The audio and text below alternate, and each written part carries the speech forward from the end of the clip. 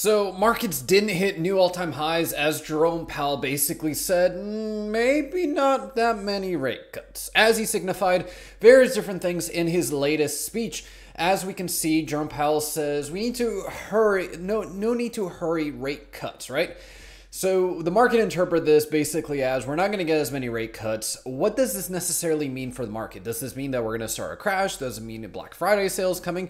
Notice how I said Black Friday sale, right? Everyone that's looking in the market is basically saying, "Oh no, the market fell today and it's a horrible thing because we didn't make new all-time highs," right? I closed a lot of my bullish positions that I started off in the beginning of the week that I showed you guys in the previous video. That does not necessarily mean I'm completely bearish on the market, right? We have talked about bearish things on this channel several times. We've talked about the yield curve. We've talked about futures basically being bearish. We've talked about a lot of things, right? The yield curve still stably staying in this uninverted territory. It is a cause for concern. Is alarm bells going off? No, not yet. And if you guys saw the weekend deep dive, you guys would know exactly what levels we need to pay attention to because S&P basically came down to exactly this level on a Thursday closing basis. So is this bad? No, not really. It's not really that bad. Should you be buying? Um, maybe, maybe not. Depends on if you want a dollar cost average, if you what your time frame is for retirement, right? A lot of people that are older should not necessarily be dollar cost averaging because they don't have time for the risk. But today we're going to basically answer what we should be looking in for the Friday close. That is the main sum and substance of what we are going to try answering today. Simply put, are we above 585? And that's a long way to go. That would basically be the equivalent of three days of work. That would be a 1.25% haircut. Do we have any catalysts that can cause that significant of a move today? Well, let's take a look, right? So, the economic calendar, we got PPI on Thursday, came in worse than expected. They also revised the previous higher from 1.8 to 1.9 for regular PPI and subsequently 2.8 to 2.9. So they revised everything about 0.1 and came in 0.1 hotter than expected. Okay, that's not great, but it's also not terrible considering that inflation is not as much in the forefront of the Fed's mind as it is jobs. So jobs are the main thing that they're going to be looking at, but jobs came in okay. So it's this balancing of risk, as we've heard Jerome Powell say. We also got a bunch of sell signals in the sense of close position time in the market, and we'll be showing that in just a moment. But fear and greed basically sitting at 60. So this is not necessarily that we are in true basic fearful territory, right? We're not selling off like crazy. We're just going down. People are taking profit. Uh, others are not necessarily stepping up to the plate to take those positions. And we can look at various different things, right? Is there any threats for Friday, like we mentioned?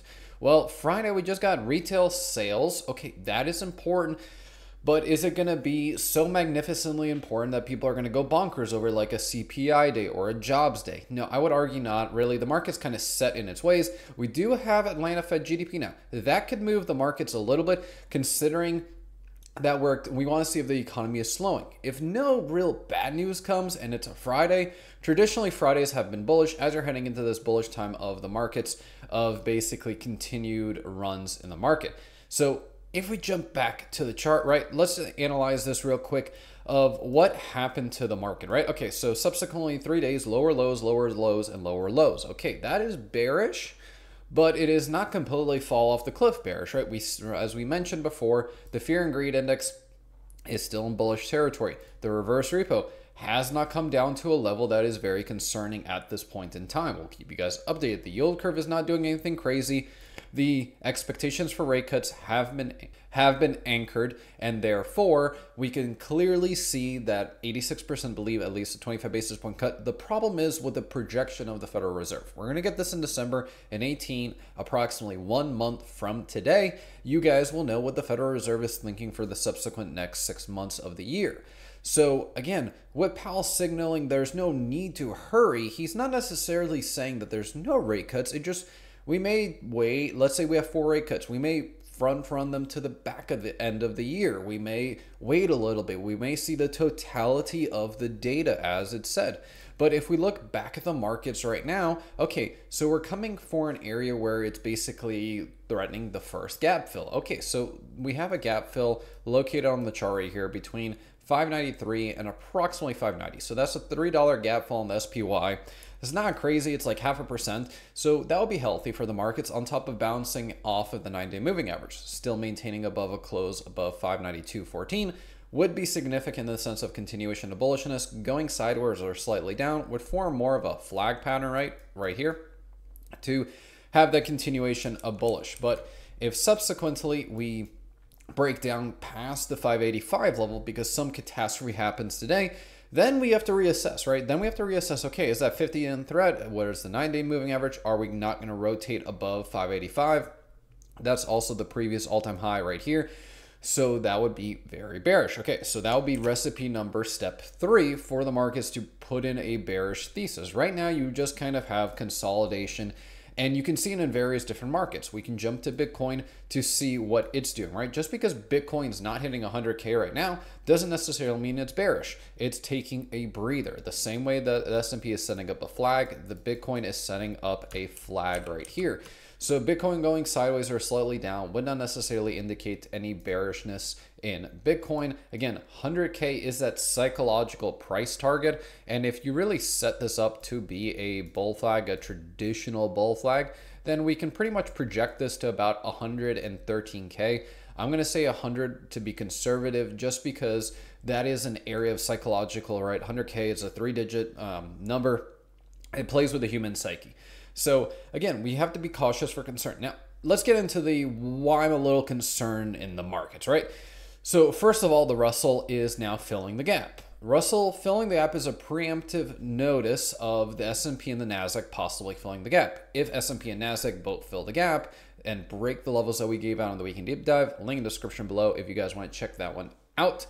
So again, the Russell is giving you early warning signs. What else is giving you an early warning sign? RSP. RSP breaking below the nine day or right at the nine day moving average because it's the equal weighting of S&P kind of gives you early warning signals on top of VIX basically just hey, saying, hey, I'm not going down anymore.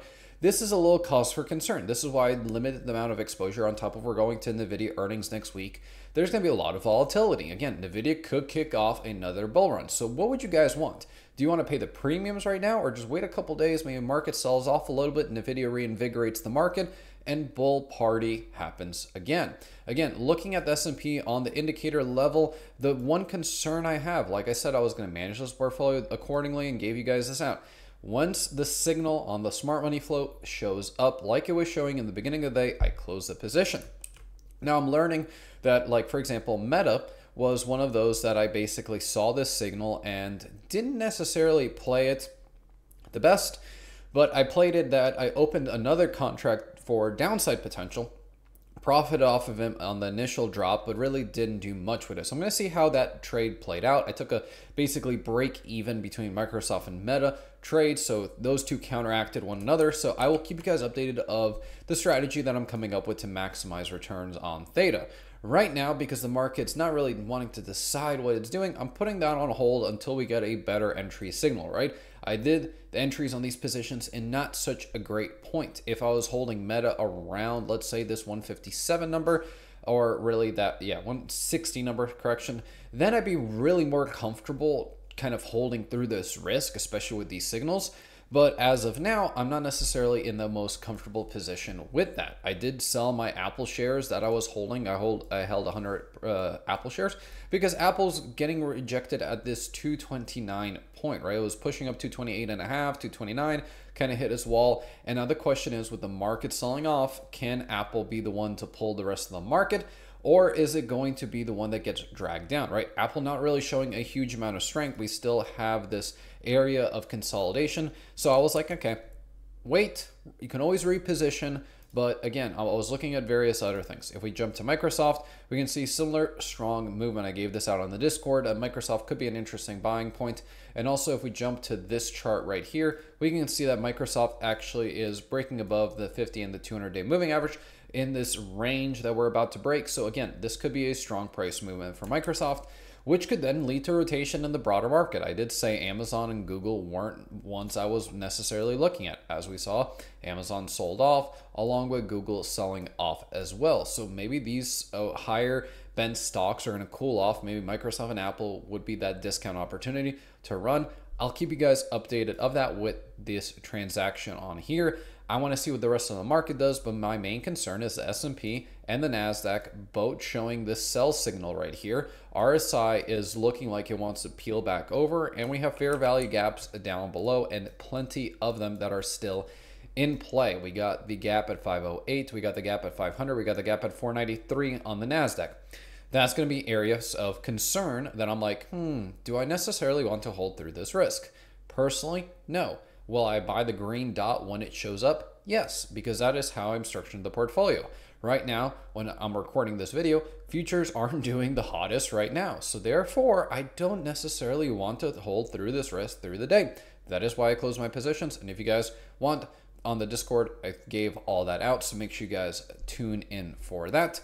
Others like Tesla, right? Tesla is basically just having a crappy day, right? As we see pushing back down lower. Nvidia was the one that was having a bull signal, now has a bear signal. So I'm like, okay, I'm just going to close all these positions and wait to re-enter because the market is, I believe, needing to basically stagnate, pull back on some of that fervency, calm back down which going sideways to down would be a bullish thing. And I think there's a lot of opportunity to look bullish in the sense of buying opportunities if we get that dip. The risks are rewarded then skewed to the upside, but right now it's skewed to the downside. So make sure you guys are positioned accordingly to that. Make sure you guys are also joined the Discord because we're going to be going over NVIDIA earnings next week. It's going to be a fantastic time. So make sure you guys check that out. I will have the Weekend Deep Dive linked over here if you missed the last one. And I hope to see you in the Weekend Deep Dive on Sunday afternoon. Thank you all so much for watching and hope to see you in the next one.